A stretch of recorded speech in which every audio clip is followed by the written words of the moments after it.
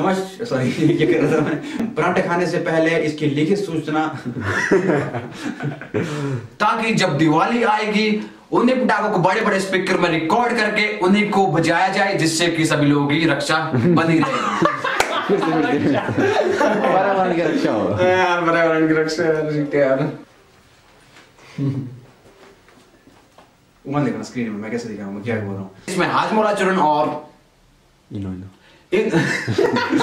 यार। नहीं नहीं ठीक है। इस समय की बड़ी खबर सुप्रीम कोर्ट ने दो से ज़्यादा पराठों को खाने।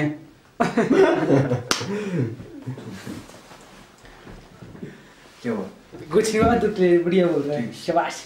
जाते हैं कि उन्हीं पटाखों को हमारा पूछे कर अपनी टिकट में तो कैसे दे दूँगा? नहीं ठीक है। मनु पार आई तो तुम बस रहे पार्वती की ठीक है?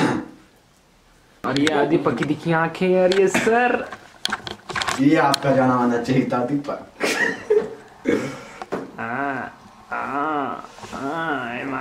खाने के बाद खाते रहना तो सुप्रीम कोर्ट का ये कहना है कि इन पटाखों को